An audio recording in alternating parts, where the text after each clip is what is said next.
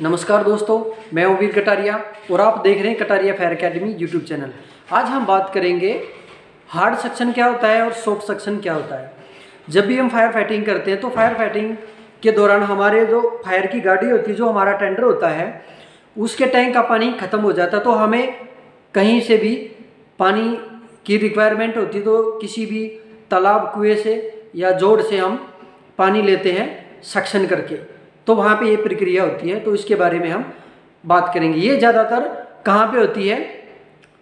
जब हम किसी भी गाँव या देहात की आग बुझाने जाते हैं। अगर किसी भी इंडस्ट्रीज़ में जाते हैं तो वहाँ पे तो ऐसी प्रॉब्लम आती नहीं, वहाँ पे फायर हाइड्रेंट्स हमें अवेलेबल मिल जाते हैं। बट ये ज़्यादातर गाँव और जंगलों की आग बुझाने में ज़्यादा ये कठिनाइयाँ सामने आती है। तो वीडियो स्टार्ट करने से पहले छोटा सा रिक्वेस्ट है अगर आप चैनल पर नए हैं तो प्लीज़ चैनल को सब्सक्राइब कीजिए और बेल आइकन का बटन ज़रूर दबाएँ। तो वीडियो स्टार्ट करते हैं। तो आज का हमारा चैप्टर रहेगा, हार्ड सेक्शन और सॉफ्ट सेक्शन क्या होता है?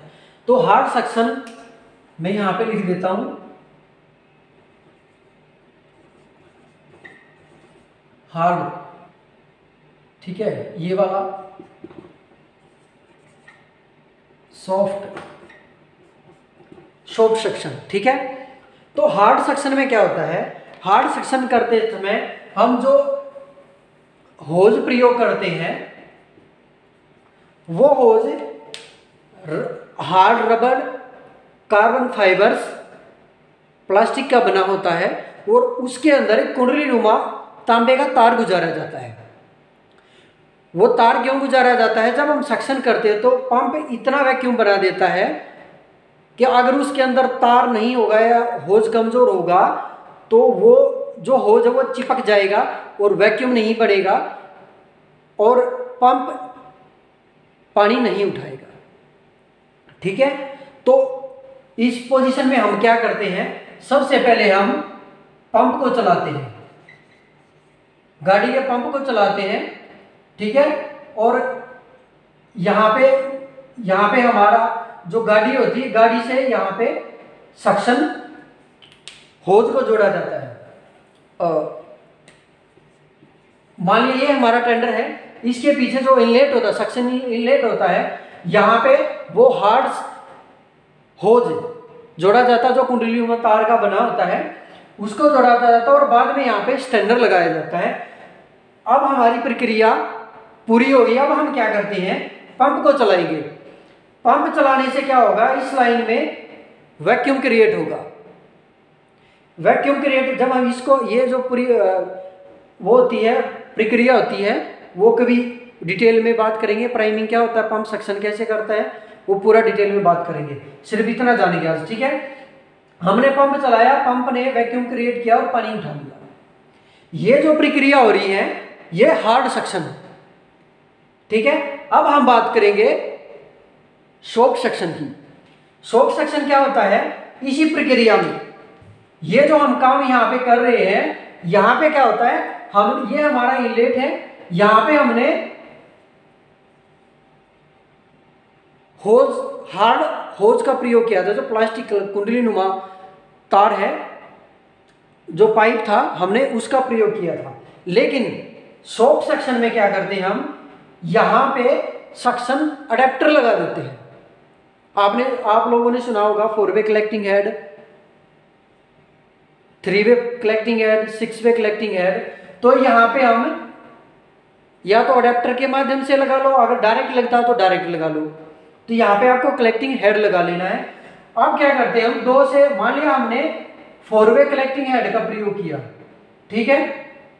Four way four way collecting head का प्रयोग किया। हम चार हाइड्रेंट से पानी देंगे। और यहाँ पे जो ये होज यूज़ हो रहा है ना, ये सक्शन होज नहीं है। ये डिलीवरी होज है, कौन से वाला? जिससे हम फायर फाइटिंग करते हैं, वो डिलीवरी होज है। तिरसठ एम एम वाला।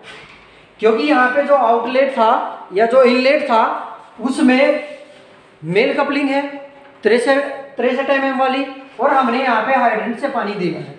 ठीक है? तो ये जो प्रक्रिया हो रही है, ये शॉक सेक्शन है। अब इसमें एक और एडिशनल जोड़ने की कोशिश करूँगा। कई बार क्या होता है कि हमारे टैंक का कोई भी लीकेज के कारण टैंक फट जाता है या पानी उसमें रुक नहीं पा रहा है तो हम क्या करते हैं, इस पोजीशन में हम डायरेक्ट फायर फाइटिंग भी कर देते हैं।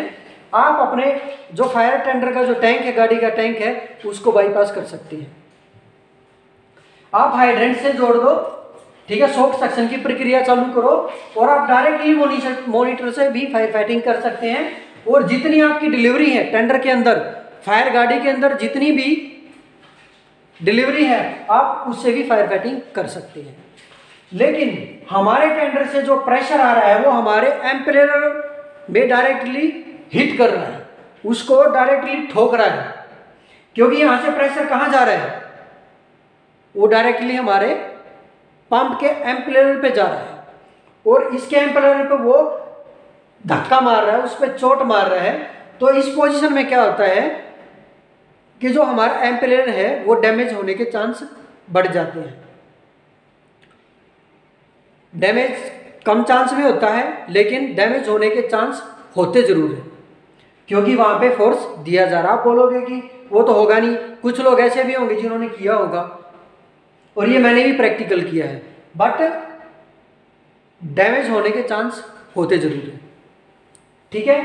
तो ये जो मैंने पूरी प्रक्रिया बताई है तो उम्मीद करता हूँ आप लोगों को समझ आ गया होगा। एक बार दोबारा रिपीट कर देता हूँ। हार्ड सेक्शन में सक्शन होज का प्रयोग किया जाता है और सॉफ्ट सक्शन में फोर वे कलेक्टिंग हेड लगा करके डिलीवरी होज से हाइडेंट का कनेक्शन दे करके हम टैंक को भरते हैं या डायरेक्टली फायर फाइटिंग करते हैं, वो सॉफ्ट सक्शन होता है।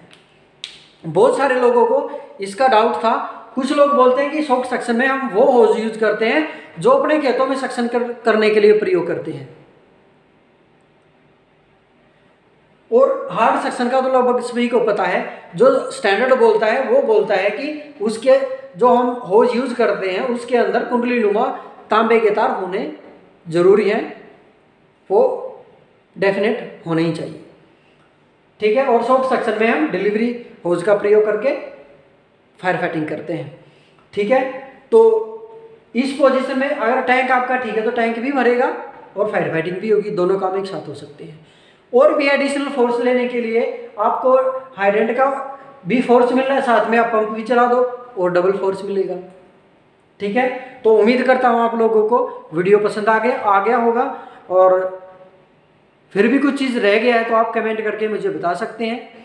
एक यही वीडियो मैंने कल डाली थी उसमें कुछ आ, रह गया था या कुछ खामियाँ थी मैंने उसको डिलीट कर दिया ये डाला है तो आप इसको ज़रूर देखें। तो जल्द लौटेंगे नेक्स्ट वीडियो के साथ जब तक जुड़े रहिए आपके अपने यूट्यूब चैनल पर। जय हिंद जय भारत।